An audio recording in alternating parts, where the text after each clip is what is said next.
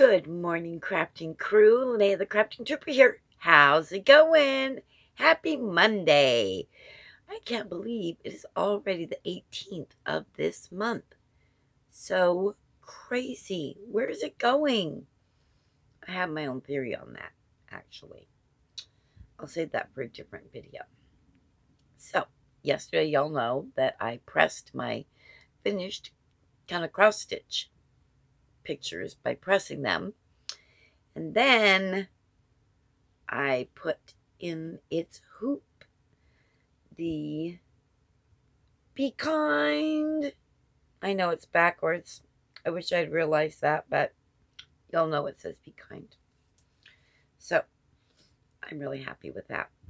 I also framed the little peace sign that I cross stitched in a little wooden hoop.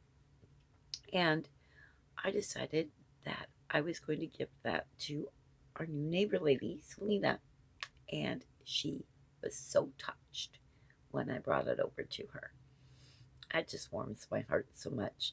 And she asked me, Did you make it? I said, Yes, I did. She's like, Oh, ah, my heart gets so warm from that reaction. I love gifting people things made from my own hands. The majority of them truly appreciate it and it touches our hearts. And when I can touch someone's heart, that's God touching their heart. And some people don't know that. But they start a new journey. So that's the way I look at it. My crafting is my ministry. So I was going to start this yesterday if you remember, Neva from Manic Mama Creations sent me that in my package with the masks and um, the cute little owl box. Oh, speaking of the owl box, I'm going to bling it up. Mm-hmm. You will be, I think you'll be surprised at what I do. Anyway, I was going to make this yesterday, at least the elephant one, about 10 o'clock last night. Mm-hmm. Takes glue. I wasn't sure. So, but, so what I did, you can kind of see it in here, I separated all the elephant parts from the unicorn parts. So, that's, that's going to be my first project of the day. It'll be quick. But they, they at first I thought that they didn't include the, um, what was it I thought they didn't include? In that, in the package. The part for the unicorn. Maybe it was ears.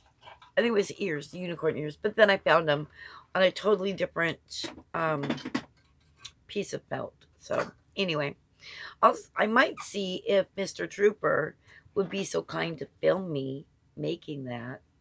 I don't know. We'll see. For sure, we'll, you'll get a finished one.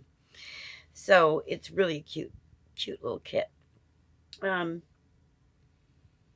other than that, oh, I did not get any crafting done yesterday.